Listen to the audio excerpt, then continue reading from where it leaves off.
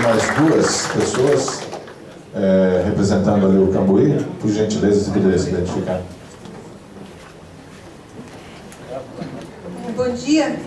Na realidade é representando a sociedade civil, né? Porque até agora não apareceu ninguém. Nós somos do Movimento Resgate Cambuí, meu nome é Tereza Penteado.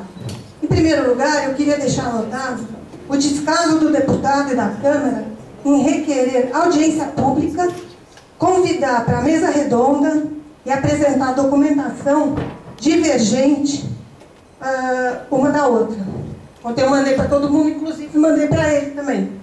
Aqui mesmo, a faixa ali, mesa redonda, e apresentação do Renato, audiência pública.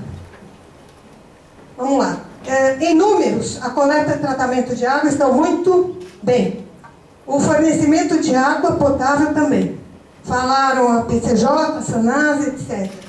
Se em números a coleta e tratamento de água no, no PCJ estão tão bem, por que os rios não estão poluídos?